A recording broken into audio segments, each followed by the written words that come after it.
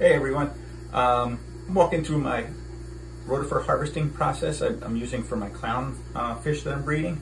And it started off with these 50 micron filter um, filter socks, um, 50 micron that I got off of Amazon, two for $13. And I cut them up into little little patches and you just basically rubber band them onto some type of circular container. It doesn't have to be PVC, uh, but you would want it to look something like that so that you can pour your material through. Um, another another option was if you want something a little bigger is I had two pieces that would fit together interlock. You put the piece of um, the filter sock or mesh material and you put it in. Um, I actually use two different sizes. So I actually use both of these when I'm doing my rotifer harvesting. This is 15 micron and I use this for catching the rotifers and this is 100 micron mesh. And I use this for cleaning my bins. And we'll walk through that now. So if I were to be just scooping some to add to a tank, um, I would come over, come with me.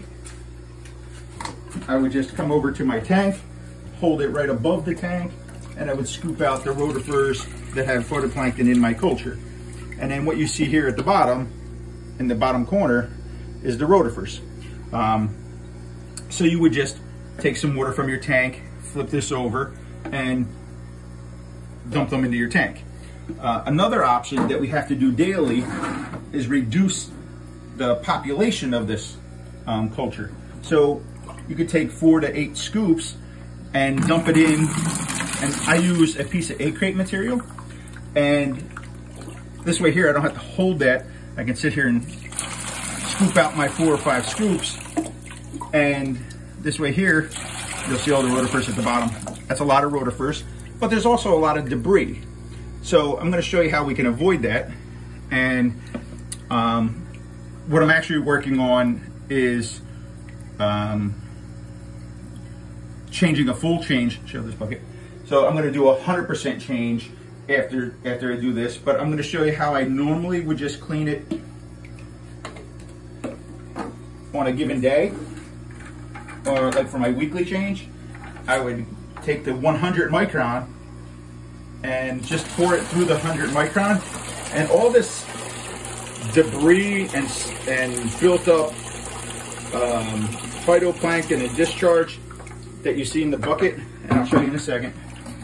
I gotta, um, it's under the filter sock. Here's a little piece of material. Just give me. No. It's not under it? Behind it. Behind the other one. Yeah. Okay.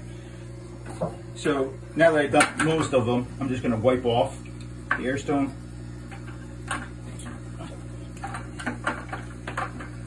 Just stop it.